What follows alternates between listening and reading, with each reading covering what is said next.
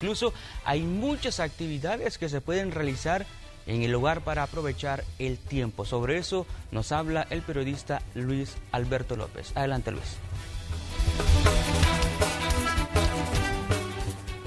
Así es como parte de las medidas de emergencia, muchas familias se encuentran con mayor tiempo en el hogar. Bueno, hemos hecho un sondeo, hemos hablado con algunos ciudadanos y una psicóloga también, cuáles son sus sugerencias para poder aprovechar estos momentos de crisis y sacarle provecho precisamente a las actividades en el hogar.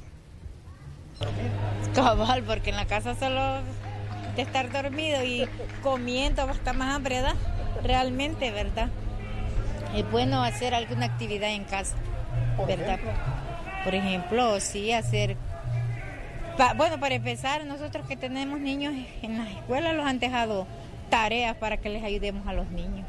Hay que, hay que hacer oficio, sí, porque vaya, por ejemplo, mis nietos están haciendo sus estudios por línea.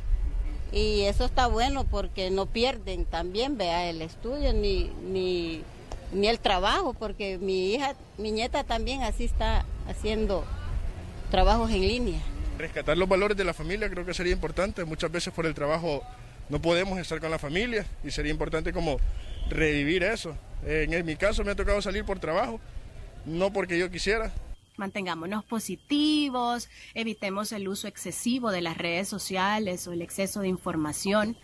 Y digámosle a nuestros seres queridos cuánto los amamos, irradiemos paz, amor y bienestar y sobre todo confiemos que esto como todo en la vida ya va a pasar. Estas solo son algunas de las medidas sugeridas que se pueden desarrollar en casa. Otras se las estaremos presentando en nuestra emisión estelar de Noticiero Hechos.